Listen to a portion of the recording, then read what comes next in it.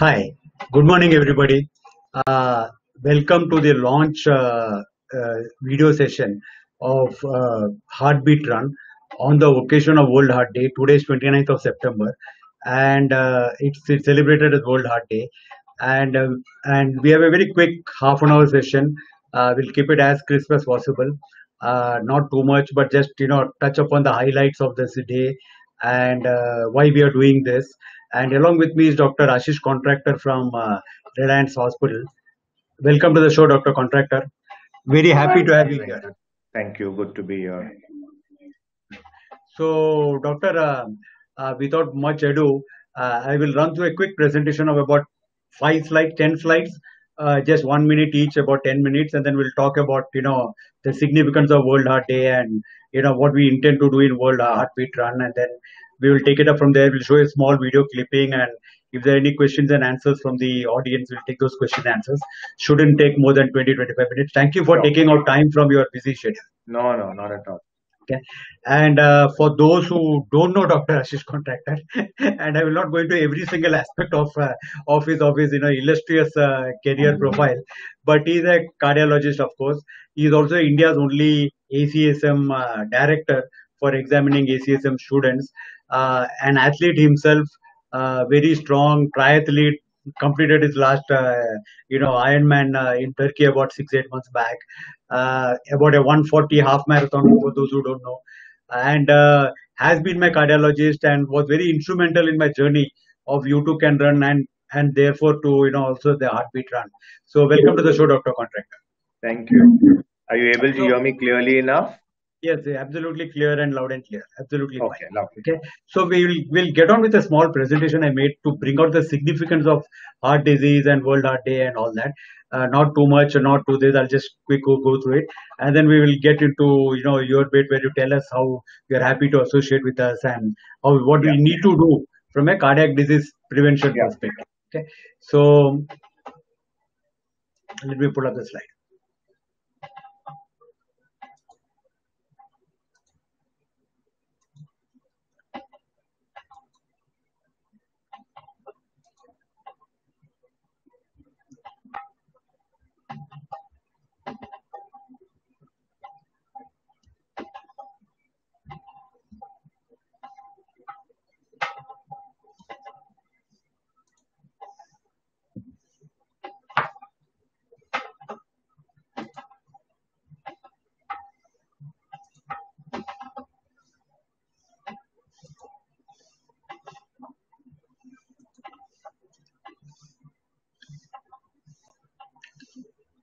so i'm assuming you can see the slide properly Yeah. uh, Good.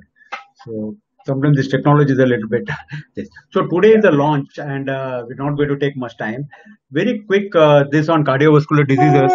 Uh, as of last, uh, there is about 17.9 million, 1 crore 79 lakhs uh, people have died worldwide. 31% of all global deaths are because of this.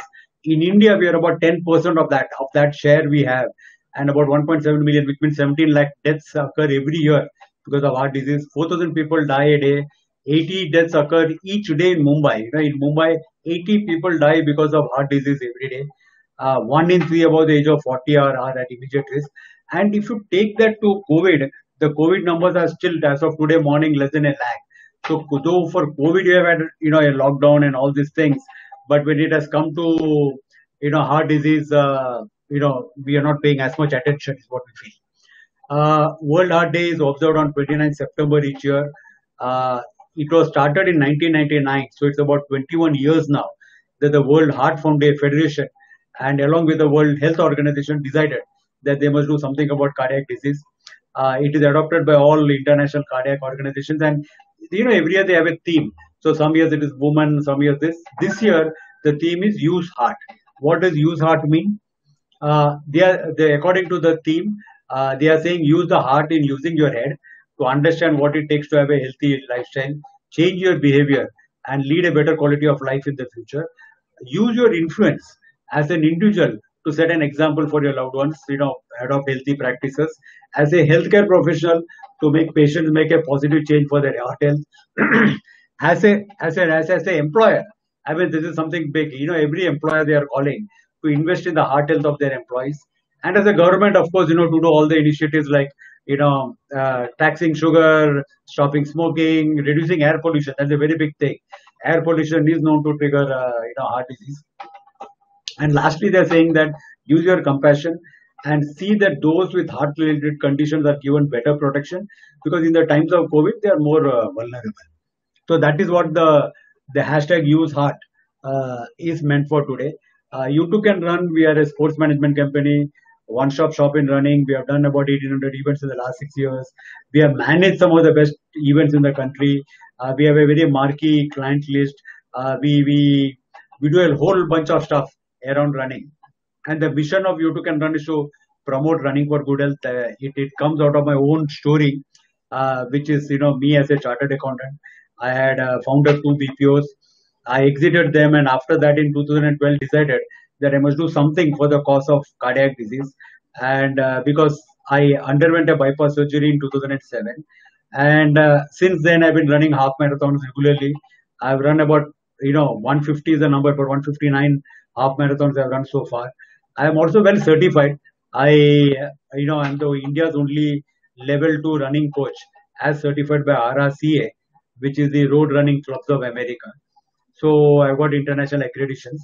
And uh, based on my own practice and my own learnings and all that stuff i founded zippers club about 8 to 10 years back 8 8 yeah 8 9 years back to train heart patients because i underwent a surgery in 2007 2008 thanks to dr contractor's guidance i i was able to run my first half marathon in standard standard chartered mumbai marathon in january of 2008 and then once i ran it it of course came in the papers and a lot of heart patients wanted to be healthy, back in society, you know, kind of thing. And then one thing led to another, and that is how Zippers Club came to be formed.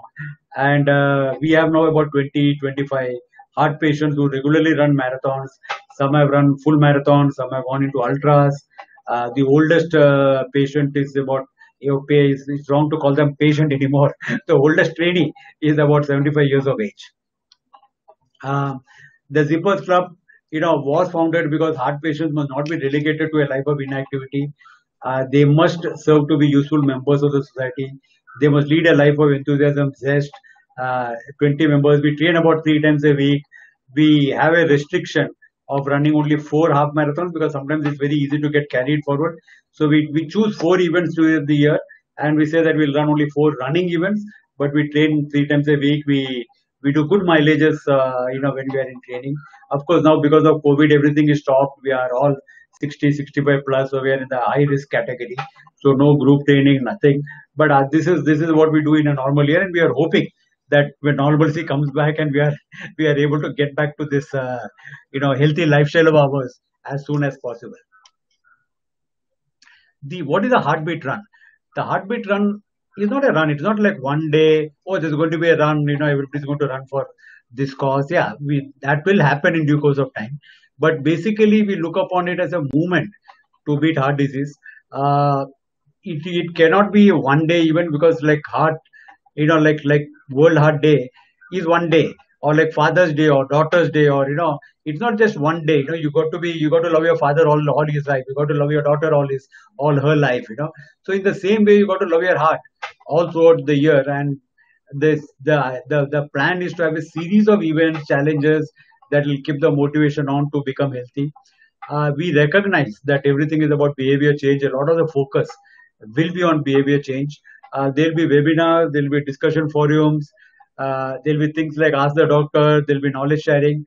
And ultimately, uh, I have in the last five, seven years been always being asked, why not start a zippers club in Hyderabad, in Aurangabad, in Jalna? You know, the heart patients all over the country, and all of them want to come back to running. Somewhere or the other, they hear about me and what I do. And the idea is to use this movement to scale up Zippers Club, you know, work with trainers in Bombay and in all parts of the country and see that they train heart patients correctly. Dr. Contractor is the best man to tell us how to go about doing that.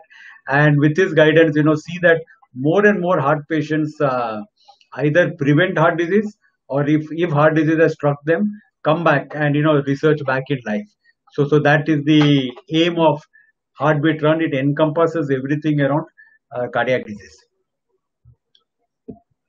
So that uh, is uh, is uh, is what we intend to do, and that is what the Heartbeat Run is about, and that is what we are launching today on World Heart Day. And uh, happy to have you here, Doctor Contractor. And uh, you know, uh, you know, rather than, I mean, you will tell us what is the importance of exercise. But one observation that I made is that there is no NGO, there is no non-profit that works towards cardiac disease in the country. You know, you take cancer, you take autism. You know, you have you have so many NGOs. You know, you have, you have so many NGOs fighting every corner of the cancer space. But why is it that cardiac disease has got a vacuum? That's a good question. I'm not sure whether what I'm going to tell you is necessarily the right answer, but it's yeah, we are just we are surmising. Yeah, my my thoughts. One is heart disease. Um, you know, is a disease which I, I tell people sort of half jokingly, half seriously, is that it's the, if I may say so, the best serious disease to have. Why do I say that? Is because the large majority of people, after they've suffered their event, and obviously assuming that they have survived the event, they can go on to lead very normal lives, unaffected lives, just the way you and the other members of the Zipper Club are showing, right? They can even be better than before, which is a terminology I like to use often. A lot of other diseases, these chronic diseases like, frankly, cancer, like stroke, they, I think, tend to leave a much longer physical and mental impact. So I think that's that's one reason why that emotional connect sometimes where NGO etc. is concerned is more for things like cancer. Um, also, heart disease in many ways is a cluster of different conditions. Like you got diabetes you know a condition which is a risk factor for heart disease, but is a condition by itself. You have uh, blood pressure, which is a condition by itself. Uh, cholesterol. So you know it's not it's not necessarily one entity it's several different entities which which encompass it also up until recently and i think that that it's a misconception that it's a disease of the well-to-do and a disease of the rich and therefore maybe that need for ngo support or need for you know um, financial funding maybe less compared to many others and that's not true because heart disease is the number one cause of death both in urban parts of India and in rural parts of India, among the well to do, among the not so well to do. And I think the last point is a lot of people who have heart disease, they can just, like I said, people can just live with it. So often people are told, oh, you can't afford these expensive surgeries. Doesn't matter. Just take sort of medicine and live with it. There is a lot of focus on children with heart disease because children have an emotive thing, but those are, of course, congenital disease, diseases of birth, disease with birth defects, which is very different from the kind of heart disease that we are talking about, which is more a disease of the blockage, to put it in simple language. Yes, yes, doctor. I I sometimes get the feeling that you know uh, NGO activity is all about elevation of distress, you know, poverty, those kind of things, and uh, cardiac disease, unless there's a death, and then it's all over. Okay, doesn't seem as dramatic and it doesn't seem to it's also seen as a rich man's uh, disease you know oh he ate too much he put on fat kind of it deserves it kind of you know thing kind of you know this. But i have been you know ever since we started this thinking i have been looking at all the things that happen around cardiac disease and i'm actually actually you know i'm appalled. And you know it makes my resolve even more stronger to do something because 80 deaths a day in bombay. I mean 80 families don't have breadwinners or families and you don't know. And it's coming anger and anger and i'm sure that you are you know you are on the you're in the turfs of cardiac disease. You are in the trenches of the cardiac disease battle. And you're seeing this much more closer than us. But uh, but um, you know there is there is families being affected. We did the Samman run because we saw that policemen are dying because of covid. Uh, when we started doing the run we were about 48 people now there are about 230 policemen who have died because of COVID. But I'm saying that how many policemen are dying because of cardiac disease? I mean, that's also equally large. And their families also suffer equally as much, you know, uh, because suddenly the, you know, breadwinner has gone away.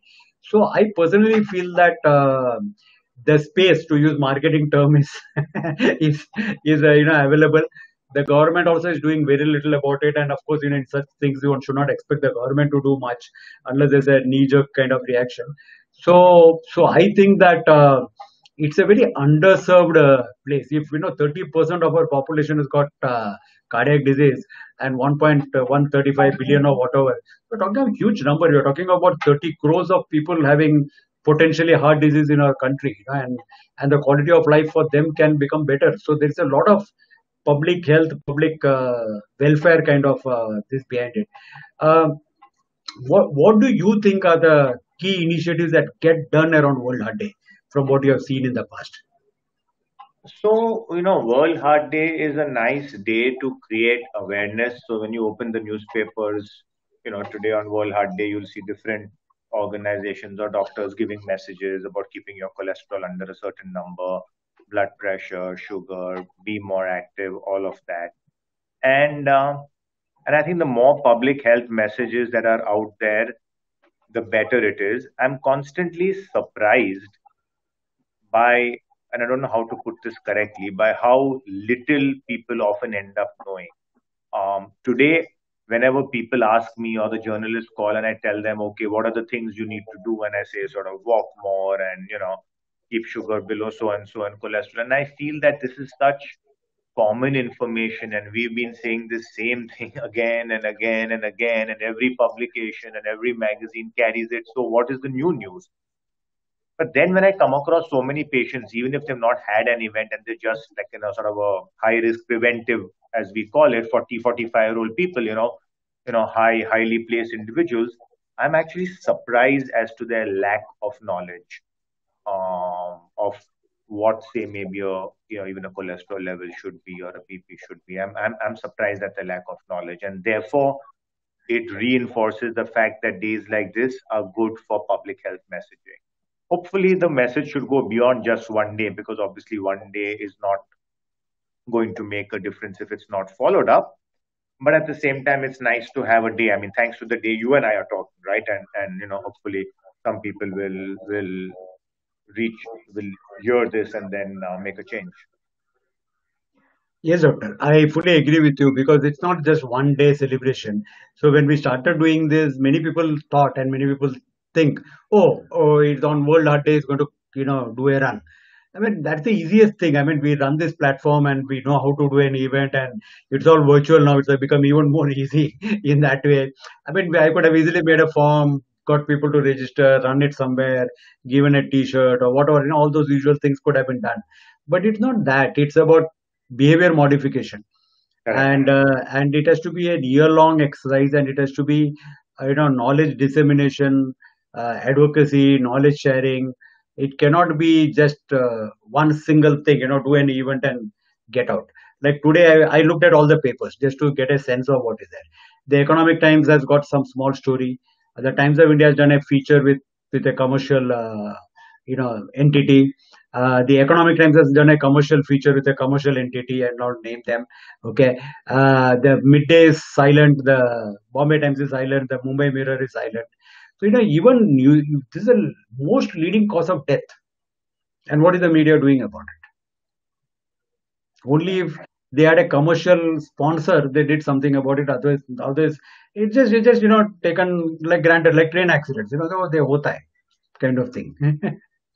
so so doctor, final message. You know, on World Heart Day, if if if you wanted to give a message, you know, with all your background, what would that message be to to people in all all walks of life? I mean, I know it's going to be uh, repetitive, but still, you know, one cannot stress enough. no, uh, I think the one, the first message would be to know where you stand in this, right? It means that just you as an individual need to kind of assess what your risk is and and hopefully once you assess your risk that can either reassure you which is a good thing or it can wake you up which is also a good thing. And literally, you can do it.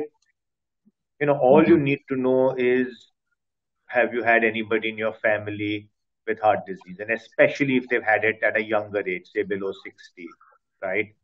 Number two is if you're over 45 years old, that's considered an official risk factor. Number three is if you're smoking or taking tobacco, then that puts you at risk. And the answer to that is you just need to stop. This is one area of lifestyle where there is no moderation. You just need to stop. Um, so these number four is are you being regularly active or not? So all of this does not require any technology. You don't need to go to a doctor, nothing, right? You yourself know about your family history, you know your age, you know whether you're active or not, you know whether you're smoking or not. Then you check your body weight. Okay, most people have a weighing scale at home, or at least they ought to have a weighing scale at home. And you can just figure out whether it's appropriate for your height. There are a million BMI charts you can, you know, go online and check. The only thing you need to do, which you may not be able to do yourself, is have your blood pressure taken, have your sugar measured, and have your cholesterol measured. And a sugar and a cholesterol, every lab on the corner will do for a very affordable rate. So once you see all of these and you know that most of your parameters are fine, then then that's a bit of a reassurance. You still need to be active. You need to exercise because obviously exercise is going to give you a lot of benefits besides heart disease. It's also going to help with cancer, uh, depression, kidney disease, all sorts of conditions. Exercise uh, will give you protection against. And on the other hand, if these numbers are high, then talk to your doctor. There are also a lot of online risk calculator tools.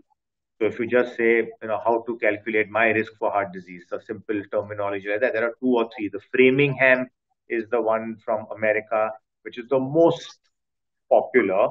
But some of the ones from the UK are better because they've designed some which have specifically got South Asians, which is our part of the world, um, their risk. Because our risk is different. Unfortunately, you may or may not know this, is that our risk is higher than the risk of Westerners. And we always think that, oh, it's the Westerners which get things like heart disease. That's not true. Our risk is higher. So some of these risk calculators, which are developed specifically in England, have taken Asian or South Asian is the correct word, ethnicity into account, and they may be more accurate. So you could use those or just simply talk to your doctor if any of your parameters are out of control. Because even they're out of control, it matters how much out of control, right? If you say cholesterol should be less than 200, you could be 205 or you could be 295, and both have got very different meaning. Good, doctor. Uh, thank you. Uh, just you know, uh, before I did not uh, announce the website, we have a small three-minute film about Zippers Club. It's very interesting to see that film. We'll just show it for our audience. Okay.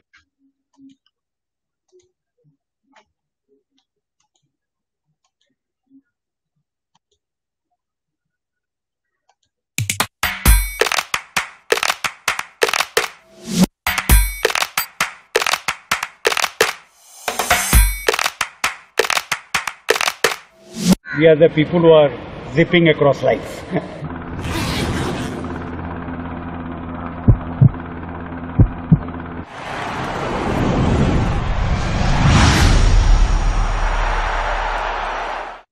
Say hello to the Zipper Club. They're all over 50 years old. Hmm, reclaiming their youth, are they? the oldest people in that group is 73.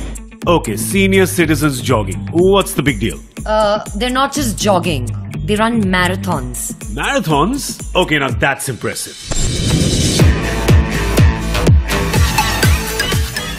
So we do about four runs in a year. And of course, the main event is the Standard Chartered Mumbai Marathon. All of us are heart patients. Many have undergone bypasses. What the what?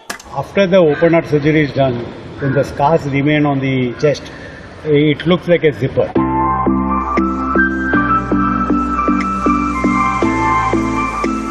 Three times a week, 20 kilometers. Sounds a bit, uh, Risky? Is it safe to run the next day? The answer is absolutely no. Is it safe to run after six months? The answer is probably yes. So it depends upon how you recover. It depends upon, you know, what your lifestyle was before you had the bypass surgery.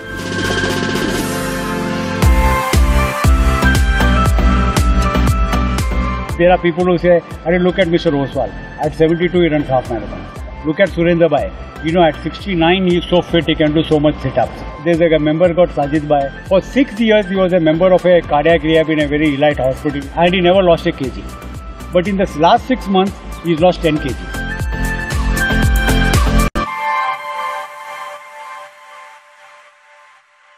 Most of us had paunch. We're overweight.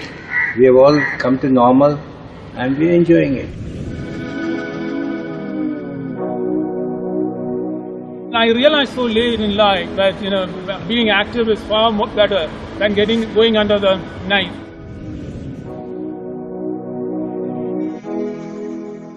No activity will continue unless there is fun. So fun is non-negotiable. So if it has to be fun, there has to be humor, and there has to be something that is challenging and something that gives them fun from a sense of achievement.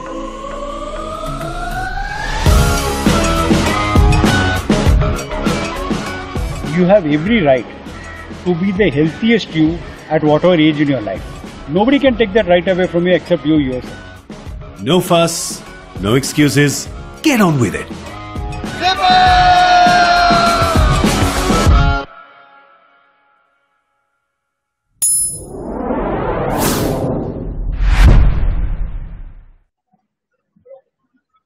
Thank you, doctor.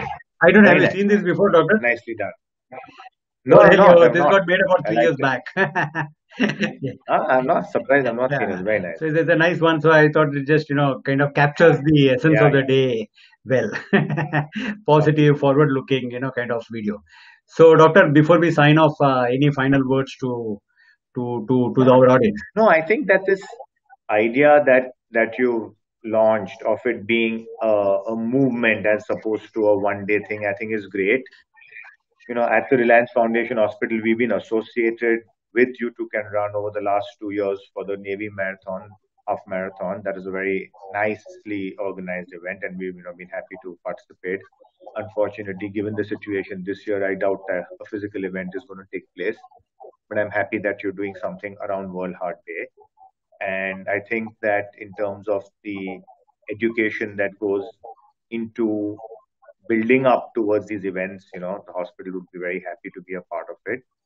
And um, I think one simple message, if we can give to everybody, especially in these COVID times, is just move more, you know, and and more is a relative word. So we have this mantra of 10,000 steps a day, but today when people are stuck at home, I've seen some numbers and people are barely doing even 2,000. If you're doing 2,000, I don't think you need to do 10,000 the next week, but you know, why not try for three or why not try for four? So just move more wherever you are. You can just be a little bit more active.